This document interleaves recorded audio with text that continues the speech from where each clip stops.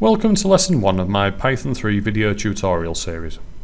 In this lesson, you will learn about Python 3's simple IDE and how to use it. You will learn about interpreting code using Python's interactive shell window, and you will learn how to use the programming window. Let's get started. When you first open Python 3, you will see the shell window. This window can be used interactively to type basic commands and see what output they give. When you enter a command, such as print hello, and then press enter, the result is displayed immediately.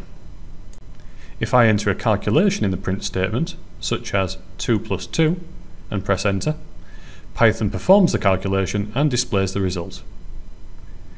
The shell window uses an interpreter which runs each line of code immediately after being entered, and as a result, it is not appropriate for creating complex programs. To create a larger, more complex program, we use the programming window which can be accessed by going to the File menu and choosing New File. This window allows us to write multiple lines of code without running it immediately, as you can see here. To run a program from this window, go to the Run menu and select Run Module, or press F5 on your keyboard.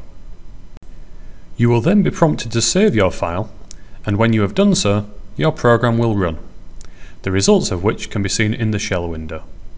Python uses a compiler to translate the entire program into machine code, so the computer can run it. If you make a mistake in any line of code, you will need to read the red warning text that appears to help you find it. In summary, you should use the shell window to try simple commands and to see the results of a program, but you should code in the programming window.